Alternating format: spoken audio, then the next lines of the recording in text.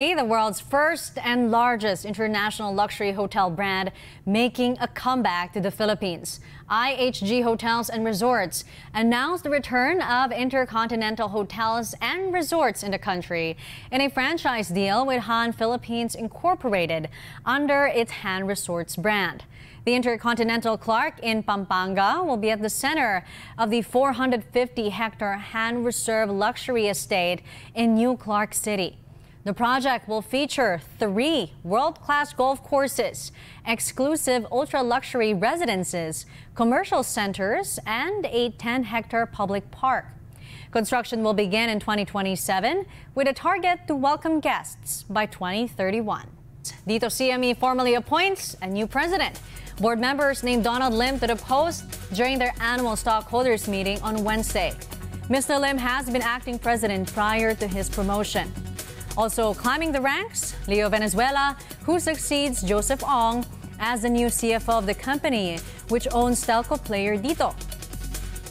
Next to Alternergy, construction begins for a solar power project by its subsidiary in Bataan province.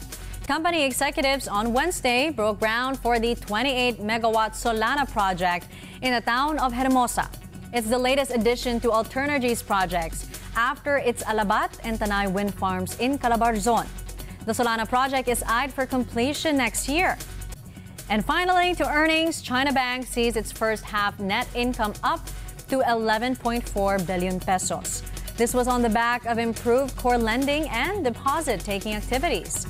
Net interest income was higher at 30 billion pesos, while total assets grew to 1.5 trillion. As for Metrobank, it delivered record income of 23 billion pesos in the same period. That's thanks to asset expansion, stable margins, and cost growth, among others.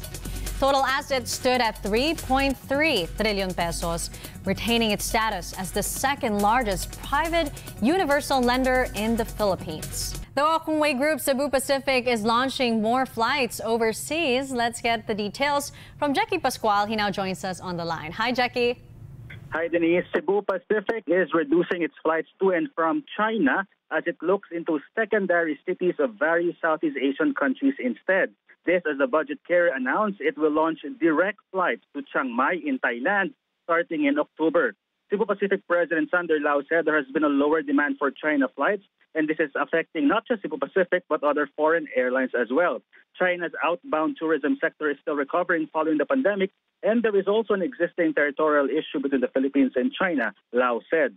And he, he mentioned that they are he is considering the existing relationship between the two countries, and it's better suited for Cebu Pacific to redeploy their assets and cater to other areas.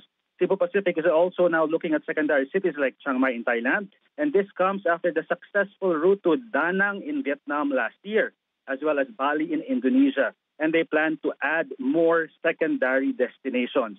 Lao is also confident of the growth of the travel sector in the Philippines due to the construction of new airports as well as the privatization of Ninoy Aquino International Airport, which will begin next month or this September. He said they have discussed with the new private operator their recommendations for the new airport as well as their growth plans. They are also now on a wait and see mode, especially if the new operator will decide to increase fees such as rental fee, takeoff fee, and landing fee. And they will, they hope that uh, it will not affect the pricing of the airline. And that's the latest. Denise, back to you. Jackie Pascual with that report. Thanks, Jackie.